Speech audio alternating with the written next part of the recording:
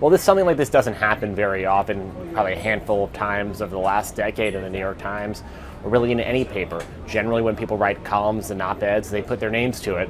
Uh, but for this level of uh, anonymity to be granted to an, an, an, official, a senior administration official in the Trump administration, for them to write this is, is uh, really sort of, certainly extraordinary. Failing New York Times has an anonymous editorial. Can you believe it? Anonymous meaning gutless, a gutless editorial. It's not clear if this person works in the White House or works closely to it.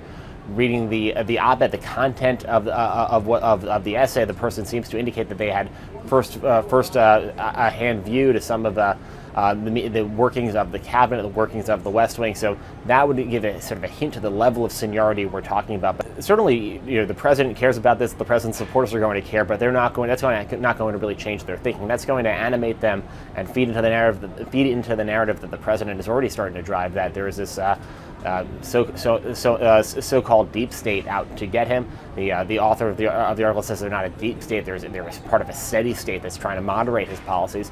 But that creates this us versus them mentality that this president really uh, has has been deploying for years, and that really brought him to the White House to begin with. The notion that there are th- these people out to try to uh, thwart his agenda, thwart him from doing what he what he what he believes he was elected to do.